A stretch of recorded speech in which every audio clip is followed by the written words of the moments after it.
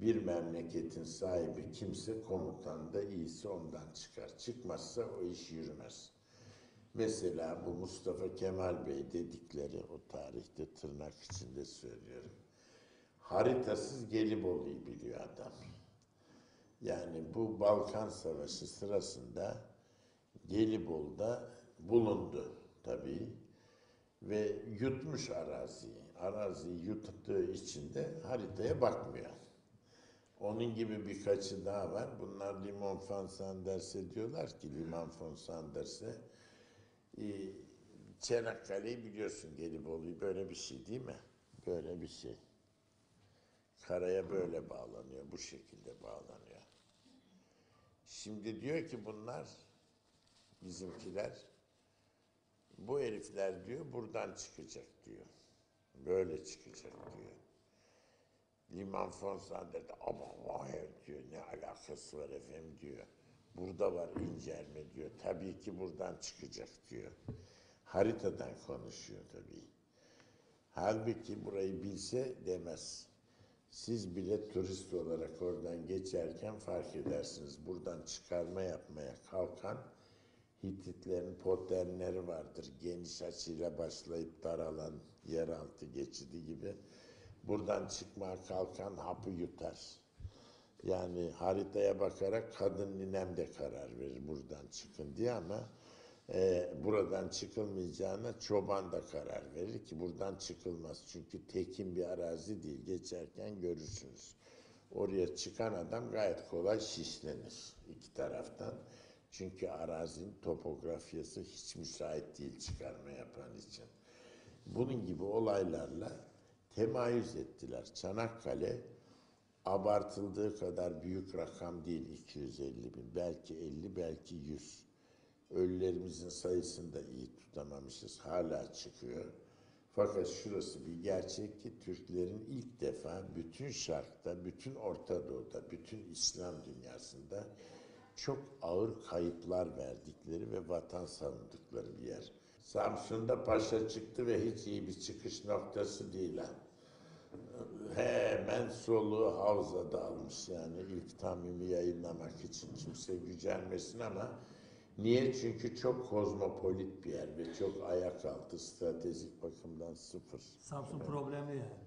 Şimdi orada olur mu ya? Apaçık bir yer, kabak gibi ve şey yani. Orada ilk tüfek bile atılmaz. Yani İzmir kadar stratejik bakımdan çok problemli bir yer ve çok kozmopolit bir yer. Yani hiç kimsenin hakim olmadığı saçma sapan bir yer yani. Ne doğru düz endüstri var, ne doğru düz bir burjuvazi var. Hiçbir şey yok. Kristalize olmamış yerde direniş olur mu? Orada nutkunu atıyor. Kendini de gizlemek zorunda. Ne valiyle ne komutanla öyle bir anlaşma falan açık olamaz. Havzaya geçtiği an başlıyor. Amasya'da tamimi tarihi proklamasyonu açıklıyor yani millete. Deklarasyon pardon Fransızcası tamimin deklarasyonu açıklıyor. Biliyorsunuz direniş ilk önce nerede başladı? Bilen var mı? Hı? Evet. Hayır hayır bizim direnişimiz. Maraş. Ha?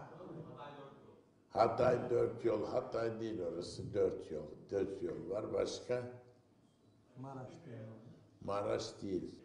İlk başlayış genç arkadaşımızın dediği gibi elhamdülillah efendime söyleyeyim dört yoldur. Ardından tabii Antep'tir. Buralardaki insanların vatanseverliğini, taassubunu, gelenekçiliğini e, küçümseyecek değiliz. Fakat bir şeyi unutmamanızı da tavsiye ederim. Buralar bayağı endüstri mıntıkasıdır. E, o tarihte bir buçuk asırlık zengin zirai mıntıkalardır. Kimse hayat damarını öyle Fransız'a bilmem neye falan bırakıp gitmez.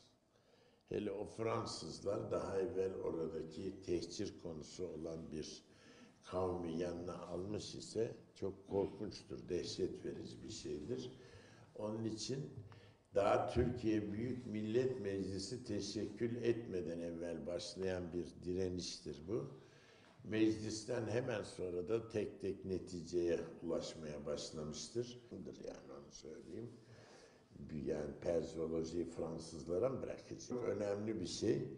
Buradan anladığım kadarıyla şu, biz hakikaten o insanları yani idadisinin ikinci sınıfından yedek subaylıkla gidiyor. Dönünce savaştan lise sınıfına hukuka gidiyor adam. Liseyi bitirmeden lise diploması alıyor. Darülfünun Every single day